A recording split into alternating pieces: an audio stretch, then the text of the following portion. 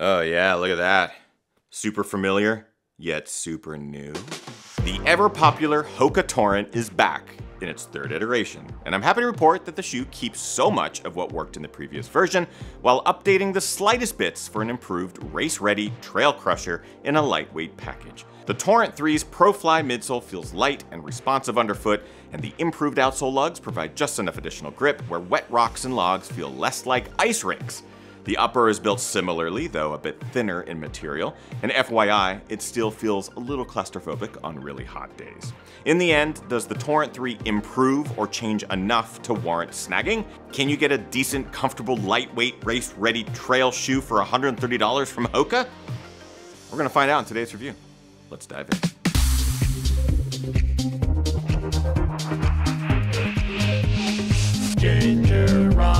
What is up everybody, Ethan Newberry, the Ginger Runner here for another Ginger Runner review. Today we're talking about this right here as I whip my eyes out. Uh, from Hoka, it is the Torrent 3. Pretty excited about this one. Spicy little number. Of course, before we dive in, a couple of things. Subscribe to the channel, join the GR crew, and this shoe was provided for review by Running Warehouse. I'm under no obligation to say anything positive or negative about this shoe. I'm not financially compensated in any way for anything that I say in this review. All opinions are my own. No one has to approve the review before you see it. So congratulations, you get to see it for the first time. Pat yourself on the parts that need patting. And let's dive in. I like to talk about the things I like and dislike about everything I review, starting as always with the things I like about the Hoka Torrent 3. Grip. So what's kind of cool about this shoe and, and, carries over from version 1 and 2 uh, is the lugs. They've got big lugs and they cannot lie. These are a bit redesigned, I think, as far as the rubber is concerned. So you do get additional grip, just like stickiness out of the rubber, which I appreciate because uh, I don't think that the previous versions necessarily had that sticky rubber or that Vibram rubber that Hoka's used in other shoes that does really provide that grip you need. Their new recipe works well, giving them the accolades for the grip here. Nice job. Weight, or lightweight. Uh, in my size, size 11, the Hoka Torrent 3s are about 10 ounces, which is a pretty dang light package that gives you a lot of grip and race readiness, snappiness, and a little bit of cushion and responsiveness uh, in a really nice package. So, way to save some weight, way to trim it down. Good job. The samesies. This is something that I've commended other shoes for doing, and in this case, it's no different carrying over the good parts of previous versions while adapting some of the things that need a bit of attention and uh, just making some smart decisions here. A little bit of additional rubber grip on those outsole lugs, a bit of a reduction in the materials in the upper, though still hot, and I think they can work on that. Uh, it is a lighter shoe, and I just appreciate some of the little details. It's not a lot different. If you run into the Hoka Torrent, Torrent 2, you're gonna feel right at home in the 3. Uh, they're just doing the right things screwing those little knobs just enough to make it a tighter version of the previous version. But it's not all Detroit style pizza and Kraken playoff games. There are a couple of things that I dislike. But the Torrent 3, let's get to those now. Narrow. So this is something that carries over from the previous version as well.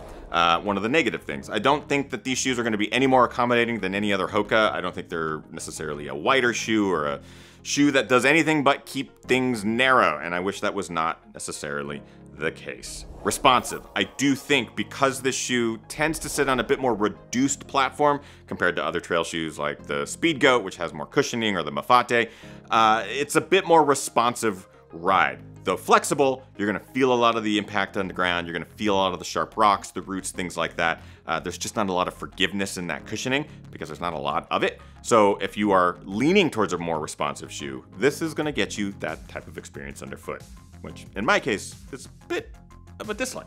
But that is it for dislike. So let's get a bit more specific in our breakdown where we talk about build quality, comfort, fit, price, and look, starting as always with build quality. I think they're carrying over some of the same build quality elements from the previous version. I think it's gonna hold up better than many anticipate. Uh, that midsole isn't gonna flatten out early just because it is more responsive. The upper is holding up really well to me. Uh, the lugs are great, so that redesigned rubber is great, good, nice. Comfort, it's not the most comfortable Hoka, obviously. It's not designed necessarily to be that max cushion trail shoe. I think it's designed to be more of a race-ready uh, trail shoe or a trainer that they market as being able to go the ultra distance, but it wouldn't be my ultra grab. This would be something that I'd run like a half marathon on trail in. Anything longer than that, and I might want just a little bit more underfoot for that extra comfort. Fit, it's narrow. It's not gonna fit all foot types quite as comfortably as you'd hope. Uh, for me, it works fine. I definitely feel the pinch along that midfoot, but uh, overall, I'm not necessarily having a problem with the fit, but some people might. Price, 130 bucks. Lower end of the spectrum as far as Hokas are concerned now. I think uh, that's a fine price point for this particular shoe.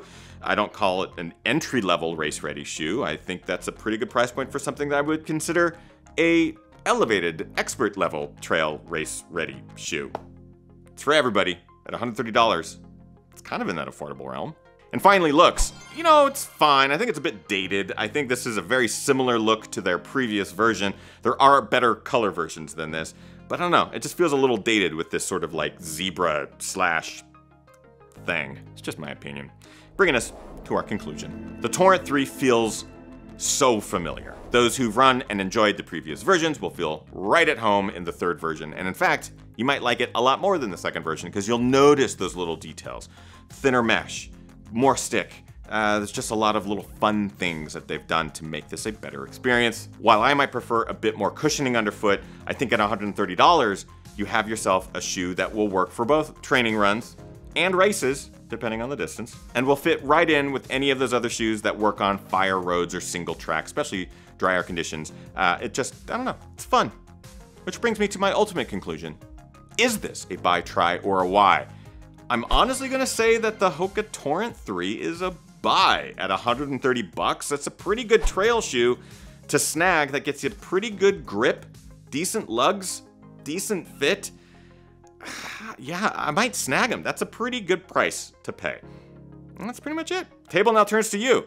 Have you run in the previous versions of the Torrent? Are you interested in the Torrent 3?